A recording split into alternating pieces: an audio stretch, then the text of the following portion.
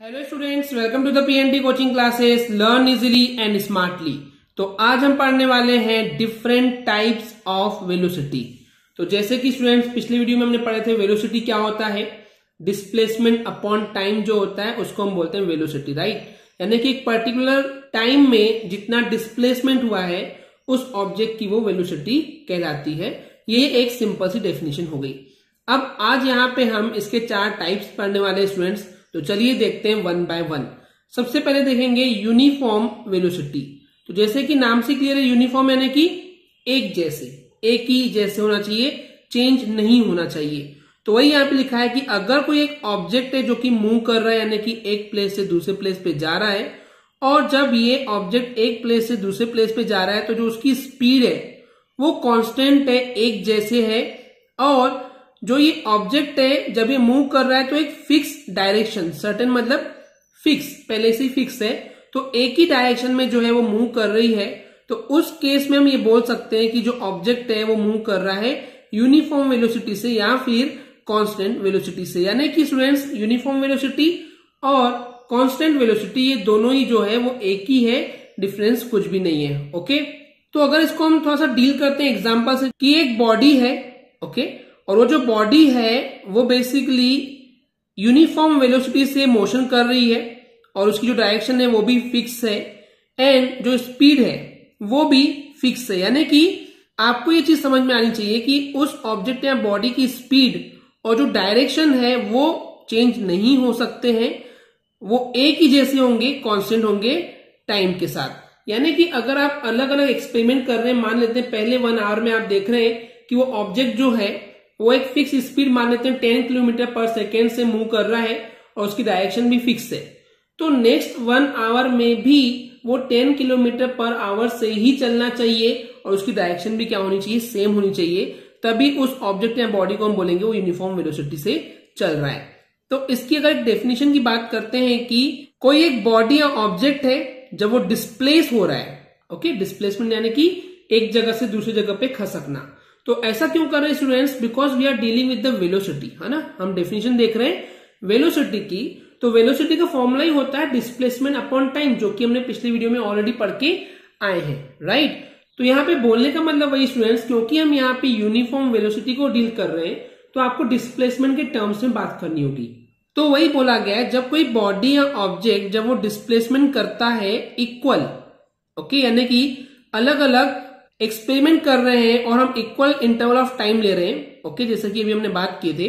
तो अगर equal interval of time यानी कि वन वन आवर का ड्यूरेशन या वन वन मिनट का जितना भी आप ले रहे हैं, उस इक्वल इंटरवल ऑफ़ टाइम में अगर ऑब्जेक्ट या बॉडी जो है वो एक ही जैसा यानी कि इक्वल डिस्प्लेसमेंट करती है तो उस केस में उस ऑब्जेक्ट या बॉडी को हम बोलेंगे जो उसकी वेलोसिटी है, वो यूनिफॉर्म वेलोसिटी है। ओके स्टूडेंट्स इतना क्लियर है? चलिए बात करते हैं सेकेंड टाइप की जो कि है नॉन यूनिफॉर्म वेलोसिटी या इसी को दूसरा नाम दिया गया है वेरिएबल वेलोसिटी तो स्टूडेंट्स नाम से क्या लग रहा है कि नॉन यूनिफॉर्म यानी कि एक जैसे नहीं होगी? तो सीधी सी बात है, एक fix equal interval of time में ओके एक fix equal interval of time में अगर ऑब्जेक्ट या बॉडी अपनी स्पीड या फिर डायरेक्शन चेंज करती है तो उस केस में उस वेलोसिटी को हम बोलेंगे नॉन यूनिफॉर्म या फिर वेरिएबल वेलोसिटी राइट तो चलिए देखते हैं यहाँ पे कि यहाँ बोला गया कि ऑब्जेक्ट है जो कि मूव कर रहा है वेरिएबल स्पीड से। वेरिएबल मतलब जो स्पीड चेंज हो रही है। कभी स्लो चल रहा है, कभी फास्ट चल रहा है, कभी मीडियम स्पीड से चल रहा है। तो यानी कि स्पीड उसकी चेंज हो रही है और वो भी एक ही डायरेक्शन में चल रहा है, मान लेते हैं। ओके ये पहली सिचुएशन हो गई। सेकेंड सिचुएशन है कि वो जो ऑब्जेक्ट या बॉडी है, वो मूव कर रहा है इस तरीके से कि उसकी स्पीड जो है, वो कांस्टेंट है। यहाँ पे स्पीड जो है, वो कांस्टेंट है। बट डायरेक्शन जो है वो चेंज हो रही है। तो दो केस हो गए। पहले बार में क्या हो गया? स्पीड जो है वो चेंज हो रही थी और डायरेक्शन चेंज नहीं हो रही थी। दूसरा केस हो गया जहाँ पे स्पीड जो है वो फिक्स है कांस्टेंट है और जो डायरेक्शन है वो चेंज हो रही है टाइम के रिस्पेक्ट में। तो उस केस में ये जो दोनों कंडीशंस हैं, उसमें उस ऑब्जेक्ट की वेलोसिटी को हम बोलेंगे नॉन यूनिफॉर्म या फिर वेरिएबल वेलोसिटी ओके स्टूडेंट्स इतना क्लियर है? अब बात करते हैं इसके एग्ज़ाम्पल की, कि कौन से ऐसे ऑब्जेक्ट हैं बॉडी जो कि नॉन यूनिफॉर्म वेलोसिटी से मूव करते हैं राइट तो देखिए, जैसे कि हम यहाँ देख सकते हैं कि एक बॉडी है जो कि मोशन कर रही है, और ये मोशन कैसे कर रही है कि वो फॉल हो रही है, यानी कि गिर रही है freely under the influence of gravity यानी कि जो ग्रेविटी है, किसी भी ऑब्जेक्ट को अपनी तरफ़ खींचती है। अर्थ जो है अर्थ के पास ग्रेविटी होती है, इसलिए हम कोई भी चीज़ जब ऊपर फेंकते हैं तो वो कहाँ आती है? वापस नीचे गिरती है ओके ऐसा क्यों होता है? क्योंकि अर्थ के पास ग्रेविटी होती है और हर चीज़ को अपने तरफ़ खींचती है। तो इस केस में आपने देखे कि इक्वल इंटरवल ऑफ़ टाइम में जो ऑब्जेक्ट था या जो बॉल था या जो बॉडी थी, वो अलग अलग स्पीड या अलग अलग डायरेक्शन में चलती है। तो इसलिए हम उस बॉल या उस ऑब्जेक्ट का जो वेलोसिटी है, उसको नॉन यूनिफॉर्म बोलते हैं। वहीं पे एक और यहाँ पे एग्जांपल दिया है motion of a car in circular path यानी कि एक सर्कुलर पाथ है स्टूडेंट्स इस टाइप से। ओके मान लेते हैं एक सर्कुलर पाथ है। और अगर सर्कुलर पाथ पे कोई कार ड्राइव हो रही है, चल रही है तो उस केस में देखिए, जब आप यहाँ पे कार है तो उसकी डायरेक्शन इधर है। लेकिन जब आप देखते हैं, जब कार यहाँ पहुँच गई तो उसकी डायरेक्शन इधर है। तो देख रहे हैं आप कि अगर मान लेते हैं उसकी स्पीड सेम है बट यहाँ पे हम देख रहे हैं कि इसकी डायरेक्शन जो है, वो चेंज हो चुकी है। तो उस टाइप से हम बोल सकते हैं कि जब एक कार एक सर्कुलर पाथ में चलती है तो उसका जो मोशन होता है, उस मोशन के टाइम पे जो उस ऑब्जेक्ट या बॉडी या उस कार की जो वेलोसिटी होती है, वो नॉन यूनिफॉर्म वेलोसिटी होती है। चलिए बात करते हैं थर्ड वेलोसिटी की। थर्ड वेलोसिटी है एवरेज वेलोसिटी तो यहाँ पे क्या होता है स्टूडेंट्स जब एक ऑब्जेक्ट एग्जीक्यूट करता है, उसके मोशन को वेरिएबल वेलोसिटी के साथ, यानी कि जब कोई एक ऑब्जेक्ट है जो कि नॉन यूनिफॉर्म वेलोसिटी यानी कि वेरिएबल वेलोसिटी से चल रहा है, यानी कि उसकी स्पीड और डायरेक्शन जो है वो लगातार चेंज हो रही है तो उस केस में अगर हमको उस ऑब्जेक्ट के मोशन को डिस्क्राइब करना है सिग्निफिकेंटली यानी कि बहुत अच्छे तरीके से अगर उसको डिस्क्राइब करना है, कि उस ऑब्जेक्ट का मोशन किस तरीके से है तो उसके लिए हम एवरेज वेलोसिटी की हेल्प लेते हैं। ओके यानी कि स्टूडेंट्स एवरेज वेलोसिटी की ज़रूरत क्यों पड़ रही है? जब कोई ऑब्जेक्ट या बॉडी है, जो कि अलग अलग स्पीड पे या अलग अलग डायरेक्शन में मूव कर रही है, यानी कि नॉन यूनिफॉर्म वेलोसिटी से मूव कर रही है तो अब उस ऑब्जेक्ट की वेलोसिटी को हम क्या बोलेंगे? तो उसके लिए हमको एवरेज वेलोसिटी की ज़रूरत पड़ती है।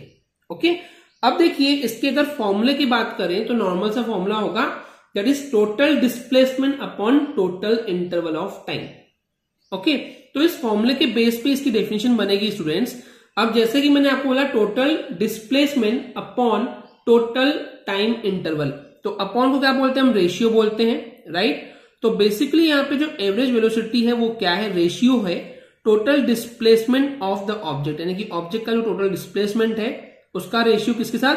टोटल टाइम टेकन इसको क्या बोलेंगे हम? एवरेज वेलोसिटी ओके स्टूडेंट्स इतना क्लियर है? अब स्टूडेंट्स अगर हम एवरेज वेलोसिटी को थोड़ा सा और इन डिटेल में और अच्छे से समझना चाहते हैं तो देखिए, मान लेते हैं कि यहाँ पे कोई एक ऑब्जेक्ट है या बॉडी है जो कि एक्स वन पर रखी हुई है। ओके एंड मान लेते हैं ये ऑब्जेक्ट या बॉडी यहाँ से चल करके एक्स टू तक पहुँच जाती है। ओके तो अब यहाँ पे वही लिखा हुआ है कि एक्स वन और एक्स टू जो है, वो दो पोजिशन है एक ऑब्जेक्ट की। पहले यहाँ पे था तो इसकी पोजिशन एक्स वन थी, बाद में ये यहाँ पहुँच गया तो इसकी पोजिशन एक्स टू हो गई।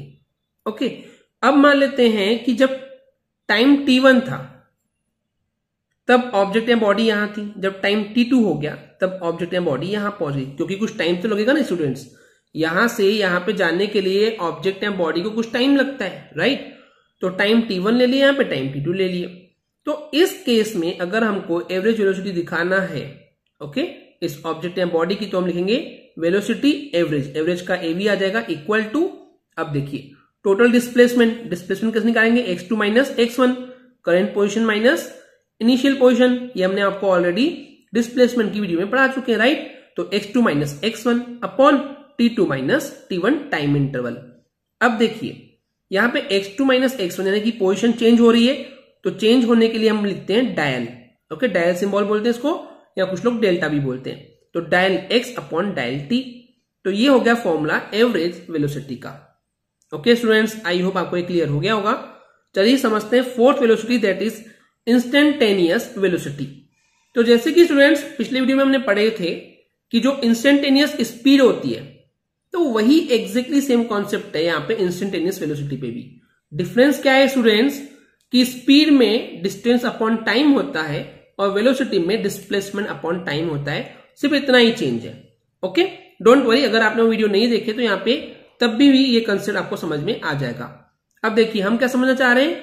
इंस्टेंटेनियस तो यहाँ पे एक वर्ड है इंस्टेंट इंस्टेंट का मतलब क्या होता है स्टूडेंट्स कि किसी पर्टिकुलर खास टाइम पे पूछ रहे हैं। अगर कोई एक ऑब्जेक्ट या बॉडी जो है एक प्लेस से दूसरे प्लेस पे गई और उसने वन आवर टाइम ली है तो वन आवर का जो मोशन की है तो अगर पूरे वन आवर का वेलोसिटी चाहिए तो हमको एवरेज वेलोसिटी निकालनी पड़ेगी। लेकिन अगर मैं पूछ रहा हूँ उस एक घंटे में कि किसी पर्टिकुलर इतने बजे या इतने मिनट पे ओके मान लेते हैं कि सुबह दस बजे ऑब्जेक्ट या बॉडी जो है चलना स्टार्ट की और ग्यारह बजे कहीं और पहुँच गई है। अब मैं पूछ रहा हूँ दस बजकर के दस minute which is called the smile time right तो टेन टेन पर उस ऑब्जेक्ट या बॉडी की वेलोसिटी क्या थी? तो मैं किसी पर्टिकुलर टाइम पे बात कर रहा हूँ, किसी एक पर्टिकुलर इंस्टेंट के लिए बात कर रहा हूँ तो उस पर्टिकुलर इंस्टेंट या उस टाइमिंग पे जो उस ऑब्जेक्ट की वेलोसिटी होगी, उसको हम बोलेंगे इंस्टेंटेनियस वेलोसिटी वही चीज़ यहाँ पे बोला गया कि अगर कोई ऑब्जेक्ट या बॉडी है, जो कि वेरिएबल वेलोसिटी से मूव कर रही है तो उस केस में उस बॉडी की किसी पर्टिकुलर एनी इंस्टेंट किसी पर्टिकुलर टाइमिंग पे जो वेलोसिटी होती है, उसको हम बोलते हैं इंस्टेंटेनियस वेलोसिटी अब देखिए स्टूडेंट्स अब अगर मैं इसको फॉर्मूले के रूप में लिखना चाहूँ तो हम क्या करते हैं यहाँ पे, जो फॉर्मूला था एवरेज वेलोसिटी का, उसी को पकड़ेंगे, यानी कि यहाँ पे जो एवरेज वेलोसिटी थी क्या थी? वो थी डेल्टा एक्स या del x upon del t अब देखिए, हम यहाँ पे किसी पर्टिकुलर टाइम पे निकाल रहे हैं तो एवरेज नहीं लिखेंगे, हम वो पर्टिकुलर टाइम की बात कर रहे हैं। अब देखिए, क्योंकि हम टाइम को लिमिट कर रहे हैं, हम क्या कर रहे हैं? एक पर्टिकुलर टाइम पे बात कर रहे हैं कि टाइम को लिमिट कर दी उसने एक घंटा मोशन की लेकिन मेरे को उसके पूरे एक घंटे के वन आवर के मोशन की बात नहीं चाहिए। मेरे को क्या जानना है कि उस एक पर्टिकुलर टेन टेन पर उस ऑब्जेक्ट या बॉडी का जो वेलोसिटी है, वो क्या था? तो हम क्या करेंगे? लिमिट लगा देंगे। डायल टी जो टाइम चेंज हो रहा है, उसको ज़ीरो कर दिए। यानी कि जो टाइम चेंज हो रहा था, अब वो ज़ीरो की तरफ़ बढ़ रहा है। यानी कि इसका सेंस समझना जो टाइम चेंज है, वो नहीं हो रहा है। टाइम चेंज नहीं हो रहा है मतलब हम एक पर्टिकुलर टाइम की बात कर रहे हैं। इसको लिखने का तरीका टेक्निकली ऐसे होता है। अब, हम लिमिट कब लगा रहे हैं? Del x upon del t के लिए। और जब हम लिमिट लगाते हैं तो लिमिट लगाने के लिए मैंने आपको टाइप्स ऑफ़ स्पीड के वीडियो में भी इंस्टेंटेनियस स्पीड में आपको बताया था कि ये जो del x upon del t convert हो जाता है d x upon d t तो ये जो डी अपॉन डी टी है, जो ये डी अपॉन डी टी है, ये बेसिकली हो जाता है फ़र्स्ट ऑर्डर डेरिवेटिव इसको क्या बोलते हैं हम? डी बाय डी टी को हम क्या बोलते हैं? फ़र्स्ट ऑर्डर डेरिवेटिव ये मैंने आपको पहले भी बता चुका है राइट स्टूडेंट्स तो ये सिंपली एक्स हो जाएगा। तो ये आपको एक चीज़ पता होनी चाहिए, जब लिमिट लगाते हैं, और लिमिट लगाने के साथ जब डायल होता है तो ये कन्वर्ट हो जाता है डी और डी में डायल राइट क्यों? क्योंकि जो डी सिंबल है, ये दिखाता है कि आप एक किसी पर्टिकुलर इंस्टेंट की बात कर रहे हो, किसी पर्टिकुलर टाइमिंग की बात कर रहे हो। ओके स्टूडेंट्स इतना क्लियर है? तो इसी को आई I मीन mean, इसी फॉर्मूले को यहाँ दिखाया गया है कि जो इंस्टेंटेनियस वेलोसिटी होती है किसी ऑब्जेक्ट की वो इक्वल होती है किसके? The first order derivative d by d क्या है? First order derivative of the क्या बच गया यहाँ पे? एक्स तो एक्स क्या है? Displacement of the object with respect to what time जो अपॉन में होता है उसको क्या पढ़ते हैं हम लोग? विथ रिस्पेक्ट टू ये भी हमने आपको ऑलरेडी पढ़ा चुके हैं। ओके एंड एनीवेज आप मैथ्स के स्टूडेंट होंगे तो आपको वैसे पता होगा और फिजिक्स में भी आपने डिफ्रेंशिएशन पढ़े होंगे तो ये आपको आइडिया लग गया होगा। ओके स्टूडेंट्स तो ये थे types of velocity I hope आपको ये क्लियर हो गया होगा। अगर आपको हमारी वीडियो से कुछ भी सीखने मिला या नॉलेज मिला तो प्लीज़ हमारे चैनल को सब्सक्राइब कीजिए एंड वीडियो को लाइक ज़रूर करें। आज के लिए इतना ही। Thank you